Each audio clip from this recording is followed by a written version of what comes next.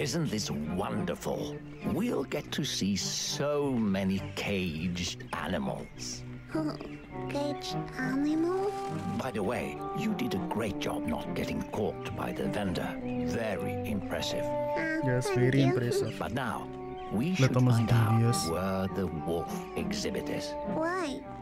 You mean Benjamin's cousin is a wolf? Yes, remember, he Oh. knows where the fox lives. Alright.